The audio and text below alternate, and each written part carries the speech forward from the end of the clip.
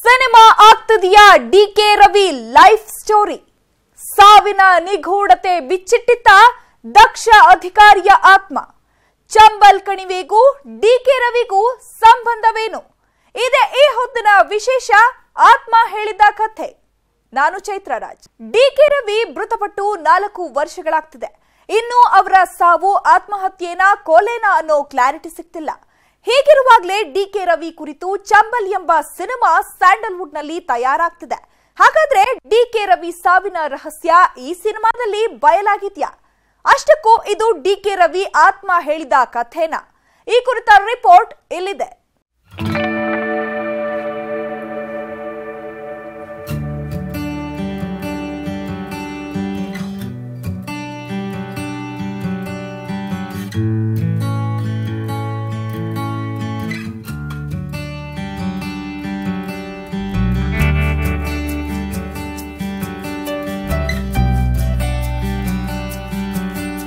DK Ravi ಸತ್ತು ನಾಲ್ಕು ವರ್ಷ ಆಗ್ತಿದೆ. ಆದ್ರೆ ಇವತ್ತಿಗೂ ಡಿಕೆ ರವಿ ನೆನಪು ಮಾತ್ರ ಮಾಸಿಲ್ಲ. ಬಡತನದಲ್ಲಿ ಹುಟ್ಟಿ ಬಡತನವನ್ನೇ ಮೆಟ್ಟಿ ನಿಂತು ಐಎಎಸ್ ಅಧಿಕಾರಿಯಾಗಿ ಘರ್ಜಿಸಿದ್ದ ಡಿಕೆ ರವಿ ಎರಡು ಸಾವಿರದ ಹದಿನೈದು ಮಾರ್ಚ್ ಹದಿನಾರನೇ ತಾರೀಕು ನಿಗೂಢವಾಗಿ ಸಾವನ್ನಪ್ಪಿದ್ರು. ಅದು ಆತ್ಮಹತ್ಯೆ ಅಂತ ತನಿಖಾ ಮೂಲಗಳು ಹೇಳಿದ್ರೆ ಇದು ಆತ್ಮಹತ್ಯೆಯಲ್ಲ ಇದರ ಹಿಂದೆ ಕಾಣದ ಕೈಗಳಿವೆ ಅಂತ ಮತ್ತೆ ಕೆಲವರು ವಾದಿಸ್ತಾನೆ ಬಂದಿದ್ರು. ಹಿಂಗಿರುವಾಗ್ಲೇ ಡಿಕೆ ರವಿ ಆತ್ಮ ಸೇಡಿಗಾಗಿ ಕಾಯ್ತಾ ಇದೆ ಅನ್ನೋ ರಹಸ್ಯ ಹೊರಬಿದ್ದಿತ್ತು. ಡಿಕೆ ರವಿ ಸಾವಿನ ಬಗ್ಗೆ ಜನರಿಗೆ ಇನ್ನೂ ಕ್ಲಾರಿಟಿ ಸಿಗ್ತಿಲ್ಲ. ಕೊಲೆಯೋ ಆತ್ಮಹತ್ಯೆಯೋ ಅನ್ನೋ ಪ್ರಶ್ನೆಗಳು ಈಗಲೂ ಕಾಡ್ತಾನೆ ಇವೆ ಇಂಥ ಟೈಮಲ್ಲೇ ಡಿಕೆ ರವಿ ಆತ್ಮ ಸೇಡಿಗಾಗಿ ಕಾಯ್ತಾ ಇದೆ ಅನ್ನೋ ವಿಷಯ ಹೊರಬಿದ್ದಿತ್ತು. ದೊಡ್ಡ ಕೊಪ್ಪಲಿನಲ್ಲಿರೋ ಡಿಕೆ ರವಿ ಕುಟುಂಬದವರು ಮತ್ತು ಕೆಲ ಆಪ್ತರ ಮುಂದೆ ಡಿಕೆ ರವಿ ಆತ್ಮ ತನ್ನ ಸಾವಿನ ಸತ್ಯವನ್ನ ಬಿಚ್ಚಿಟ್ಟಿತ್ತು. ಆ ಆತ್ಮ ಸತ್ಯವನ್ನ ಕೇಳಿ ಇಡೀ ರಾಜ್ಯವೇ ಶಾಕ್ ಆಗಿತ್ತು.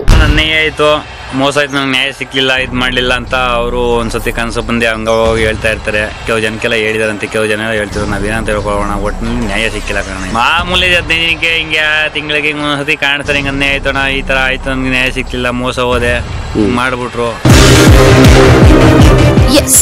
ಡಿಕೆ ರವಿ ಆತ್ಮಕ್ಕೆ ಶಾಂತಿ ಸಿಕ್ಕಿಲ್ಲ. ಅದು ಸೇಡಿಗಾಗಿ ಕಾಯ್ತಾ ಇದೆ. ತನ್ನ ಸಾವಿಗೆ ನ್ಯಾಯ ಕೊಡಿಸಿ ಅಂತ ಅಂಗಲಾಚ್ತಾ ಇದೆ ಅಂತ ಕೆಲವರು ಹೇಳ್ತಿದ್ದಾರೆ. ಹೀಗಂತ ಖುದ್ದು ಡಿಕೆ ರವಿ ಆತ್ಮಾನೇ ಹೇಳಿದೆ ಅಂತ ಸೃಷ್ಟೀಕರಣ ಕೊಡ್ತಾರೆ. ಇದನ್ನ ಕೇಳ್ತಾ ಇದ್ರೆ ಡಿಕೆ ರವಿ ಸಾವು ಆತ್ಮಹತ್ಯೆಯ ಅಥವಾ ಅವರ ಆತ್ಮವನ್ನ ಯಾರೋ ಹತ್ಯೆ ಮಾಡಿದ್ರ ಅನ್ನೋ ಪ್ರಶ್ನೆ ಹುಟ್ಟಿಕೊಳ್ಳುತ್ತೆ. ಹೀಗೆ ಹುಟ್ಟಿಕೊಂಡ ಪ್ರಶ್ನೆಗಳಿಗೆ ಇವತ್ತಿಗೂ ಸ್ಪಷ್ಟ ಉತ್ತರ ಸಿಗ್ತಿಲ್ಲ. ಎಂಥ ಟೈಮಲ್ಲೇ ನೋಡಿ D K Ravi life story cinema ಆಗಿ ತೆರೆಗೆ ಅಪ್ಪಳಿಸ್ತಿದೆ. ಸಿನಿಮಾ ಆಗ್ತಿದ್ಯಾ? D K Ravi life story. D K ರವಿಗಾಗಿ ಕಾಣಿಸ್ತಿದ್ದಾರೆ ನೀನಾಸಂ ಸತೀಶ್. ಹೇಳಿದ ಕಥೆ ಸಿನಿಮಾದಲ್ಲಿ ರಿವೀಲ್ ಆಗುತ್ತ? ಇದು ಚಂಬಲ್ ಅನ್ನೋ ಕನ್ನಡ ಸಿನಿಮಾದ ಟ್ರೈಲರ್. ಈ ಸಿನಿಮಾದಲ್ಲಿ ನಿನಾಸಂ ಸತೀಶ್ ಆಕ್ಟ್ ಮಾಡಿದ್ದಾರೆ.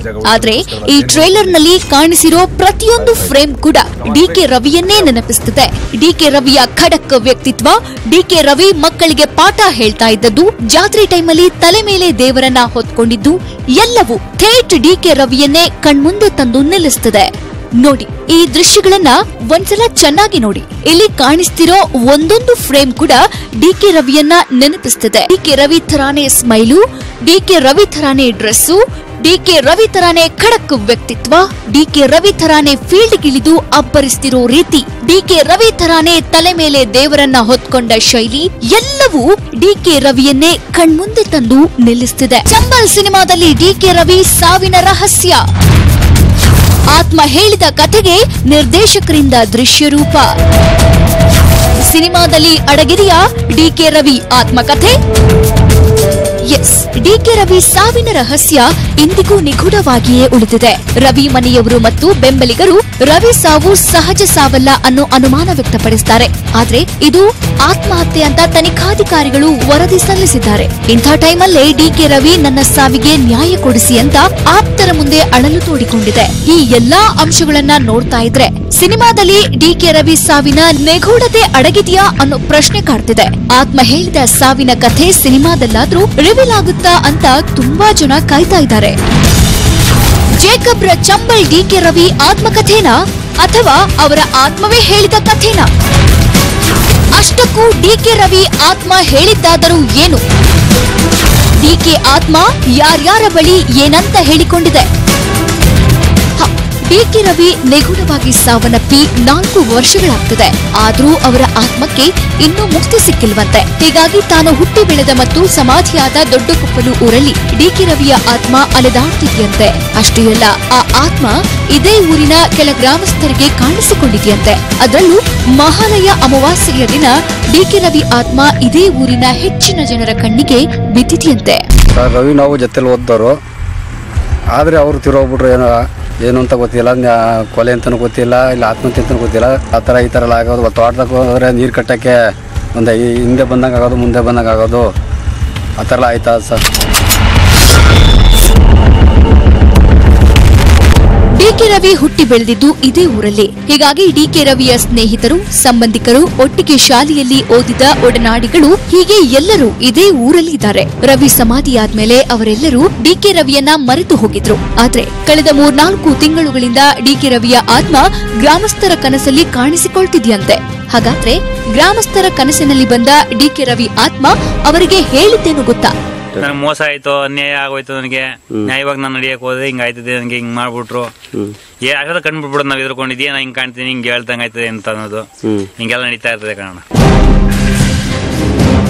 ಡಿಕೆ ರವಿ ಆತ್ಮ ತುಮಕೂರು ಜಿಲ್ಲೆ ದೊಡ್ಡಕೊಪ್ಪಲು ಗ್ರಾಮದ ಸಾಕಷ್ಟು ಜನರ ಕನಸಲ್ಲಿ ಬರುತ್ತಂತೆ. ಆದ್ರೆ ಎಲ್ಲರ ಕನಸಲ್ಲೂ ಬರೋದು ಸೇಮ್ ಟು ಸೇಮ್ ಸ್ಟೋರಿ. ನನಗೆ ಅನ್ಯಾಯ ಆಗಿದೆ. ನನಗೆ ಮೋಸ ಆಗಿದೆ. ನ್ಯಾಯ ಒದಗಿಸಿ ಕೊಡಿ ಅನ್ನುತ್ತಂತೆ. ಆದ್ರೆ ಅದೇನ್ ಅನ್ಯಾಯ ಆಗಿದೆ? ಅದೇನ್ ಮೋಸ ಆಗಿದೆ ಅನ್ನೋದು ಮಾತ್ರ ಹೇಳಲ್ವಂತೆ. ಅಷ್ಟೊತ್ತಿಗಾಗಲೇ ಗ್ರಾಮಸ್ಥರು ಕಣ್ಣು ಬಿಟ್ಟು ಬಿಡ್ತಿದ್ರಂತೆ. ಹೀಗಾಗಿ ಕನಸು ಅರ್ಧಕ್ಕೆ ನಿಂತು ಹೋಗ್ತಿತ್ತಂತೆ.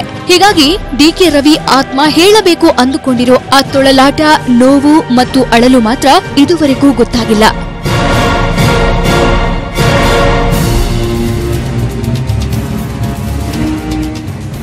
ಸಿನಿಮಾ ನಿಜವಾಗಿಯೂ ಡಿ ಕೆ ರವಿಯ ಕಥೆಯನ್ನೇ ಆಧರಿಸಿ ಮಾಡಿರೋ ಸಿನಿಮಾನ. ಈ ಸಿನಿಮಾದಲ್ಲಿ ಯಾವೆಲ್ಲ ಅಂಶಗಳಿರಲಿವೆ? ಡಿ ಕೆ ರವಿ ಸಾವಿನ ನಿಗೂಢತೆಗೆ ಈ ಚಿತ್ರದಲ್ಲಿ ಸಿಗಲಿದೆಯಾ ಆನ್ಸರ್? ಈ ಬಗ್ಗೆ ಚಿತ್ರತಂಡ ಹೇಳೋದೇನು?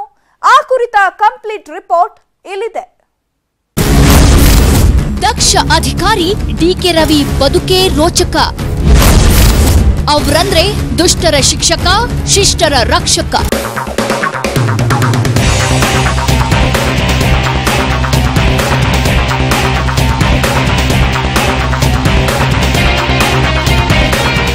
ಡಿಕೆ ರವಿ ಆ ಒಂದು ಹೆಸರೇ ಸಾಕಿತ್ತು ವಂಚಕರ ಎದೆ ನಡುಗಲು ರಿಯಲ್ ಎಸ್ಟೇಟ್ ಆಗಿರಲಿ, ಅಕ್ರಮ ಮರಳು ಸಾಗಣೆ ದಂಧೆಕೋರರಿರಲಿ, ಭಾರೀ ಕುಳಗಳೇ ಆಗಿರಲಿ. ಡಿಕೆ ರವಿ ಹೆಜ್ಜೆ ಸದ್ದಿಗೆ ಬೆವರ್ತಿದ್ರು.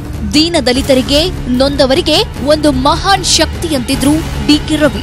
ಭ್ರಷ್ಟಾಚಾರ, ಅನಾಚಾರವನ್ನ ಕಂಡ್ರೆ ಸಿಡಿದೇಳ್ತಿದ್ರು ಡಿಕೆ ರವಿ. ಸಾಮಾಜಿಕ ಪಿಡುಗಿನ ವಿರುದ್ಧ ದನಿ ಎತ್ತಿದ್ರು ಡಿಕೆ ರವಿ.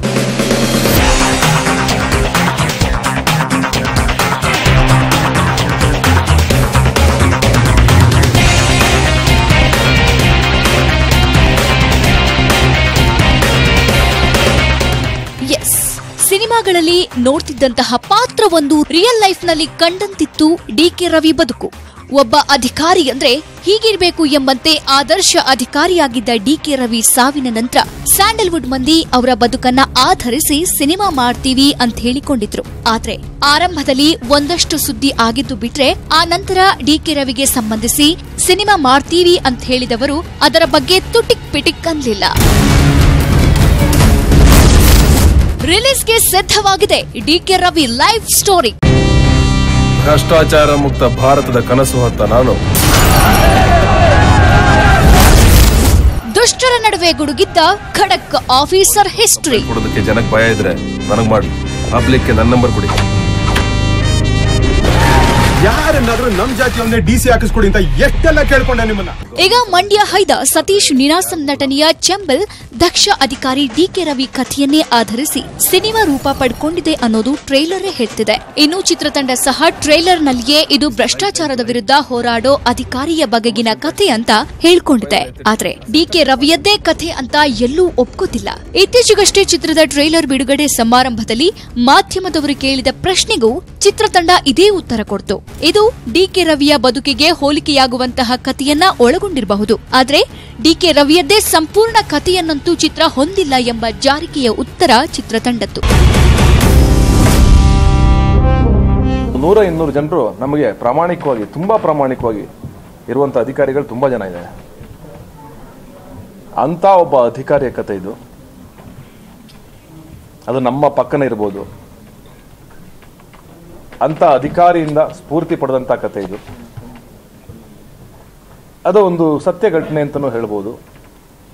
ಒಂದು ಸ್ಫೂರ್ತಿ ಅಂತಲೂ ಹೇಳ್ಬೋದು. ಹಿಂಗೆ ಅಂತ ಕ್ಲಿಯರಾಗಿ ಹೇಳಕ್ಕೆ ಬರಲ್ಲ. ಅದು ಬಹುಶಃ ಟ್ರೈಲರ್ ನೋಡ್ತಾ ಅವರವರ ಆಲೋಚನೆಗೆ ಮತ್ತು ಅವರವರು ದಕ್ಕಿಸ್ಕೊಳ್ಳೋ ರೀತಿಗೆ ಬಿಟ್ಟಿದ್ದು. ಅದನ್ನ ಹಿಂಗೆ ಅಂತ ಹೆಸರಿಟ್ಟು ಹೇಳಕ್ ಬರಲ್ಲ. ಯಾಕಂದ್ರೆ ನಮ್ಮಲ್ಲಿ ಇಡೀ ಇಂಡಿಯಾ ತಗೊಂಡಾಗ ಲಕ್ಷಾಂತರ ಜನ ಇದ್ದಾರೆ. ಇಲ್ಲ, ನಾವು ಯಾರನ್ನು ಹೆಸರಿಟ್ಟು ಈ ಸಿನಿಮಾ ಹೇಳ್ತಾ ಇಲ್ಲ. ನಾವು ಸ್ಫೂರ್ತಿ, ಒಬ್ಬ ಐ ಎ ಎಸ್ ಅಧಿಕಾರಿಯ ಕತೆ. ಸುಭಾಷ್ ಅನ್ನುವಂಥ ಕ್ಯಾರೆಕ್ಟರ್ ನಾವು ಇವರಿಂದನೇ ಇವ್ರದೇ ಕತೆ, ಹಿಂಗೆ ಮಾಡ್ತಾ ಇದ್ದೀವಿ ಅಂತ ಏನು ಹೇಳಕ್ಕೆ ಇಷ್ಟಪಡಲ್ಲ. ಸ್ಫೂರ್ತಿ ಪಡೆದಿದ್ದೀವಿ. ನಮ್ಮಲ್ಲಿ ನೂರಾರು ಜನ ಐ ಎಸ್ ಅಧಿಕಾರಿಗಳಿದ್ದಾರೆ, ನೂರಾರು ಜನ ದಕ್ಷ ಅಧಿಕಾರಿಗಳಿದ್ದಾರೆ. ಅವರೆಲ್ಲರಿಗೋಸ್ಕರ ಟ್ರೈಬ್ಯೂಟ್ ಮಾಡುವಂಥ ಸಿನಿಮಾ ಇದು. ಅವರೆಲ್ಲರಿಂದ ಇನ್ಸ್ಪೈರ್ ಆಗಿ ಮಾಡಿದ್ದೀವಿ. ಇದು ಅವರೆಲ್ಲರದ್ದು ಸಿನಿಮಾ. ಈಗ ನೀವು ಇನ್ಸ್ಪೆಕ್ಟರ್ ವಿಕ್ರಮ್ ಅಂತ ಮಾಡ್ಬಿಟ್ಟು ಯಾರ ಕತೆ ಅಂತ ಕೇಳಿದ್ರೆ ಇನ್ಸ್ಪೆಕ್ಟರ್ ವಿಕ್ರಮ್ ಅನ್ನೋರು ಸಾವಿರ ಜನ ಇರ್ತಾರೆ. ಲಕ್ಷಾಂತರ ಜನ ಇರ್ತಾರೆ ಇನ್ಸ್ಪೆಕ್ಟರ್ ವಿಕ್ರಮ್ ಅಂತ. ಆ ಹೆಸರಿರ್ಬೋದು ಬೇರೆ. ಆದರೆ ಇನ್ಸ್ಪೆಕ್ಟರ್ ಅನ್ನೋದು ಒಬ್ಬನೇ ಹಾಗಾಗಿ ಆ ಥರ ಒಬ್ಬ ಐ ಎ ಎಸ್ ಅಧಿಕಾರಿ ಕತೆ ಇದು. ಇನ್ಸ್ಪೈರಿಂಗ್ ಫಿಲ್ಮ್ ಅಂತ ಹೇಳ್ಬೋದು. ಸಿ, ನಾವು ಯಾವುದೇ ಒಂದು ಕತೆ ಮಾಡಬೇಕಂದ್ರೆ ನಮ್ಮ ಸುತ್ತಮುತ್ತಲು ಐದರ್ ನೋಡಿರುವಂಥ ವಿಷಯಗಳಾಗಲಿ, ಇಲ್ಲಾಂದರೆ ನಮಗೆ ಒಂದು ಇನ್ಸ್ಪೈರ್ ಆಗುವಂಥ ಒಂದು ಕತೆಗಳು. ನಮ್ಮ ಮುಂದಿನ ಜನ್ರೇಷನ್ಗೆ ಏನು ಕೊಡ್ಬೋದು? ಅದೊಂದು ಎಂಟರ್ಟೈನ್ಮೆಂಟ್ ಮೀಡಿಯಮಲ್ಲಿ ಎಲ್ಲನೂ ಉಳ್ಕೊಂಡು ಒಂದು ಮಾಡುವಂಥ ಒಂದು ಕತೆ ಮಾಡಬೇಕಂತ ತಿಳ್ಕೊಂಡು ಮಾಡಿರೋದು. So I think it is ಆ ಥರ. It's a thriller actually it's a thriller screenplay ಸ್ವಲ್ಪ ಒಂದು ನಾನ್ ಲೀನಿಯರ್ ಫಾರ್ಮ್ಯಾಟ್ ಟ್ರೈ ಮಾಡಿದ್ದೀವಿ. ಇವಾಗ ಎಲ್ಲರೂ ಟ್ರೈ ಮಾಡ್ತಾರೆ. So we thought will just try the non linear ಒಂದೊಂದು story telling format it's a thriller ಅಂತ. ಗೌರ್ಮೆಂಟ್ ಸರ್ವೆಂಟ್ ನಿಜ ಆದ್ರೆ ಯಾರಿಗೂ ಗುಲಾಮ್ರಲ್ಲ. ಇನ್ನು ಡಿಕೆ ರವಿಯದ್ದೇ ಪಾತ್ರ ಮಾಡಿದ್ದಾರೆ ಅಂತ ಹೇಳಲಾಗ್ತಿರೋ ಸತೀಶ್ ನೀನಾಸಂ ನೇರವಾಗಿ ಎಲ್ಲೂ ಹೇಳ್ತಿಲ್ಲವಾದ್ರೂ ಚಿತ್ರಪ್ರೇಮಿಗಳು ಟ್ವಿಟರ್ನಲ್ಲಿ ಚಂಬಲ್ ಸಿನಿಮಾ ಡಿ ಕೆ ರವಿಯ ರಿಯಲ್ ಲೈಫ್ ಸ್ಟೋರಿ ಅಂತ ಹಾಕ್ತಿರೋ ಟ್ವೀಟ್ಗಳನ್ನ ರೀಟ್ವೀಟ್ ಮಾಡ್ತಿದ್ದಾರೆ. ಈ ಮೂಲಕ ಪರೋಕ್ಷವಾಗಿ ಚಂಬಲ್ ಸಿನಿಮಾಗೂ ಡಿಕೆ ರವಿಗೂ ಸಂಬಂಧವಿದೆ ಎಂಬುದನ್ನ ಒಪ್ಪಿಕೊಳ್ತಿದ್ದಾರೆ. ಗೌರ್ಮೆಂಟ್ ಸರ್ವೆಂಟ್ ನಿಜ ಆದ್ರೆ ಯಾರಿಗೂ ಗುಲಾಮ್ರಲ್ಲ.